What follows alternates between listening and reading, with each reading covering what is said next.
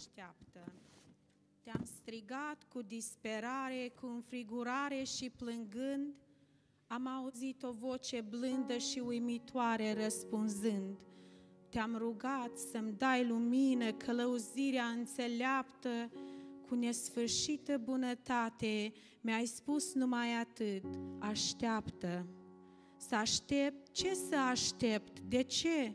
Stăteam înfrânt și rătăcit, oare e mâna ta prea scurtă, urechea ta n-a auzit? În genunchi a câta oară te-am implorat un semn să-mi dai, vreau un răspuns la rugăciune, spune mergi sau spune stai. M-ai învățat să vin la tine, să cer, să cred și voi primi. Ai promis că ești cu mine, să mă ajuți oriunde aș fi.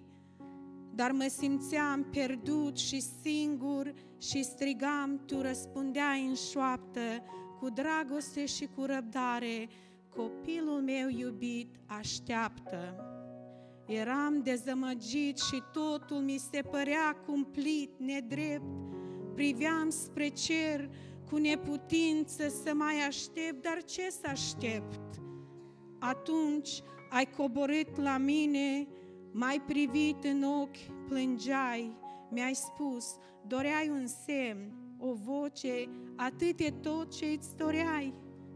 Aș fi putut să clatin munții, să întunec soarele pe cer, aș fi putut să aprind văzduhul, să înviez pe cei ce pierd.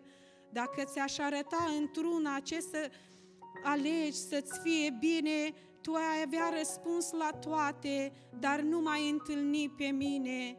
Nu ai putea să simți iubirea cu care înconjor pe sfinți. Nu ai putea primi puterea pe care o dau celor înfrânți. N-ai așteptat tăcut o rază să alunge norii disperării. Nu ai simțit o dihna sfântă venită, venită în urma încercării. N-ai ști să umbli prin credință, nu mai vedea că lângă tine, inima ta cea zbuciumată nu s-ar mai odihni în mine, nu ai cunoaște revărsarea iubirii mele pe deplin, când Duhul Sfânt îți umple viața cu pace și cu har divin. Dacă durerea ta ar ține o clipă, tu nu ai lupta, nu ai cunoaște biruința ce poți să o ai prin jertfa mea, s-ar împlini visele tale, dar dorul meu s-ar spulbera, n-aș mai putea să fac din tine o perlă în comoara mea. Deci, fiul meu, mergi prin furtună, gândind la zilele senine, știind că cel mai mare dar e să mă întâlnești pe mine, chiar dacă nu găsești răspunsuri și viața îți pare prea nedreaptă, să-ți amintești că sunt cu tine chiar și atunci când spun așteaptă.